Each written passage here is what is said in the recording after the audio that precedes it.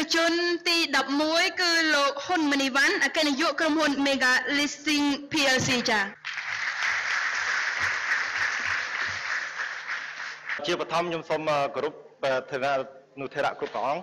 ក៏ដូចជាសូមគោរពគណៈអធិបតីភ្ញៀវកិត្តិយសគណៈកម្មការក្នុងការវិតម្លៃក៏ដូចជាបងប្អូនទាំងអស់គ្នាដែលមានវត្តមាននៅទីនេះខ្ញុំសូមអរគុណដល់រដ្ឋា Leading Center ដែលបានផ្ដល់ឱកាសឲ្យខ្ញុំជាថ្មីម្ដងទៀតក្នុងការចូលរួមចំណែកដើម្បីចែករំលែកបទពិសោធន៍និងចំណេះដឹងទូទៅតាក់ទងភាពជាអ្នកដឹកនាំប្រហែលជាខ្ញុំត្រូវបានគេមើលឃើញថាជាអ្នកដឹកនាំដែរហើយបានប្រហែលបានជាគាត់អញ្ជើញខ្ញុំមកតាមការស្មានរបស់ខ្ញុំតាក់ទងនឹងប្រធានបទភាពជាអ្នកដឹកនាំ អឺពិសេសគឺថ្ងៃនេះវេទិកាគឺចង់ទៅជែកពីការបន្តវេនភាពជាអ្នកបន្តវេនអញ្ចឹងបើនិយាយពីខ្លឹមសារនៃភាពជាអ្នកបន្តវេនវាអាចមានពីរចំណុចសំខាន់ទីមួយអាចថាតើក្នុងនាមយើងជាអ្នកដឹកនាំយើងរៀបចំយ៉ាងម៉េចដើម្បីឲ្យបានខ្លាយជាបន្តអ្នកបន្តវេនចំនួនក្រោយរបស់យើងទីពីរអាចនិយាយថាបើខ្ញុំជាអ្នកចង់ទៅបន្តវេនតើខ្ញុំគួររៀបចំខ្លួនរបៀបម៉េចដើម្បីខ្លាយទៅជាអ្នកបន្តវេនអនាគតប៉ុន្តែដល់យោងទៅពេលវេលាខ្លីខ្ញុំសូមទៅចែកពីរឿងខ្ញុំជាអ្នកដឹកនាំហើយទៅរៀបចំ អនាគតនៃអ្នកចំនួនក្រោយរបស់ខ្ញុំទៅជាអ្នកដឹកនាំបន្តវេនអនាគតយ៉ាងដូចម្ដេចជាបឋមខ្ញុំសូមជម្រាបជូនថាពេលដែលយើងចាប់ផ្ដើមចង់រកគូសកលយើងតែងគិតពីការរៀបចំជីវិតរបស់យើងអនាគតនៃជីវិតរបស់យើងអញ្ចឹងកាលណាយើងនិយាយពីការរៀបចំអនាគតនៃជីវិតយើងនិយាយពីការបន្តបន្តវេនបើយើងនិយាយពីការបន្តវេនយើងនិយាយពីការបន្តពូជអញ្ចឹងអឺប្រហែលជាអ្នកទាំងអស់គ្នា នៅក្នុងទីនេះខ្ញុំជឿថាដល់វ័យដែលត្រូវគិតពីរឿងហ្នឹងហើយអញ្ចឹងដូចគ្នាលោកបងប្អូនមួយចំនួនដែលនៅទីនេះក៏គាត់ធ្លាប់មានប្រពន្ធមានកូនធ្លាប់មានគ្រួសារអញ្ចឹងអ្វីដែលសំខាន់ខ្ញុំចង់ជម្រាបជូនថា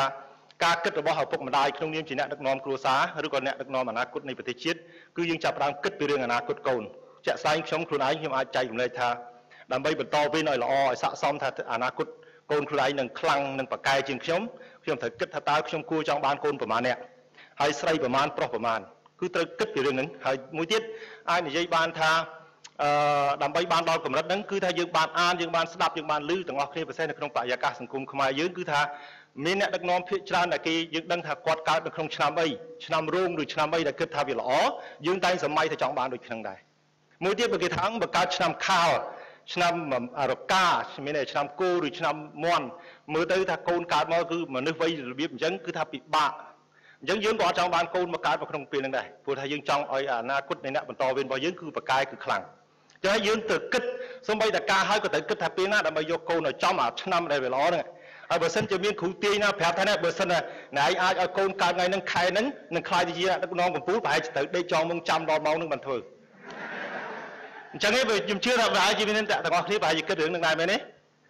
អានេះជាចំណុចមួយដែលចង់ចង់ជម្រាបជូនថាការរៀបចំ នៃអនាគតនៃអ្នកបន្តវេនគឺផ្ដើមចេញតាំងពីចំណុចចាប់ផ្ដើមរបៀបហ្នឹងទៅ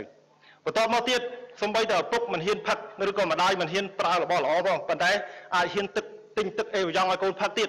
ដើម្បីបង្ហាញថាអនាគតគាត់ត្រូវតែសុខភាពល្អត្រូវតែប្រកែដើម្បីគាត់អាចឈានទៅដល់អនាគតមួយដែលជាអ្នកបន្តវេនដ៏រុងរឿងបន្តមកទៀតត្រូវគិតតាំងពី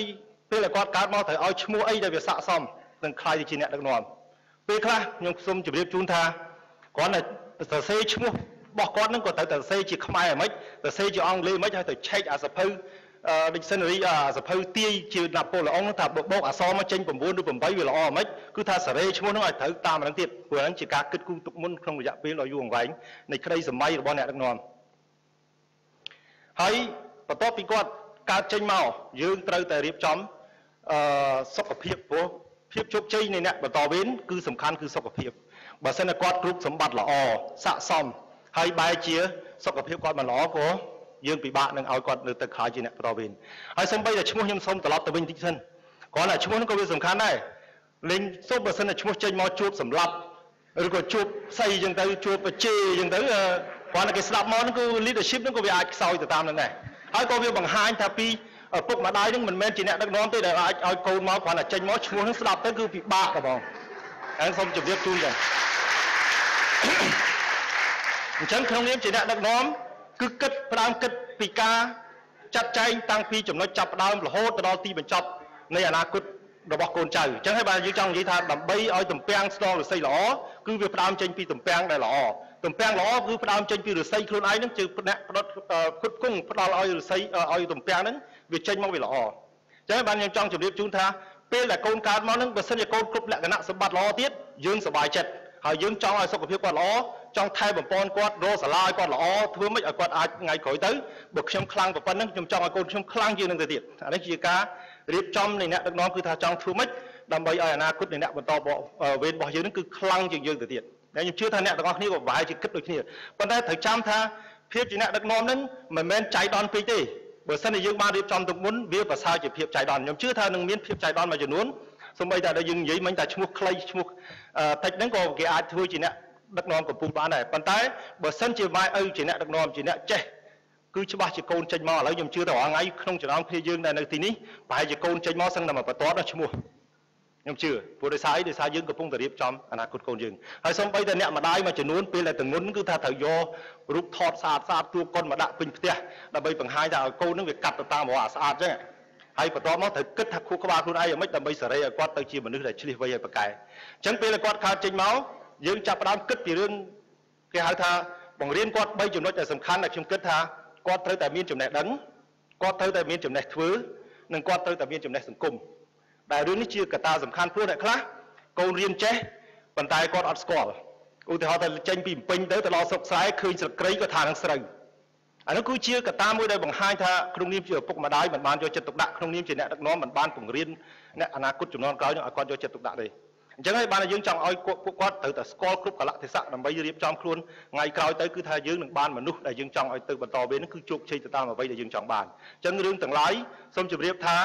ភាពជាអ្នកបន្តវេននៃអនាគតរបស់យើងគឺជាក្តីសម័យរបស់អ្នកដឹកនាំដែលគិតក្នុងរយៈពេលយូរ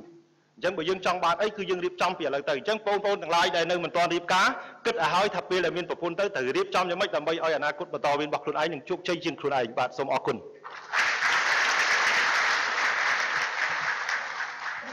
ដើម្បីមោទនភាពក៏ឧត្តមឧត្តមនៃគ្រួសារខ្ញុំនិងមនុស្សជាតិ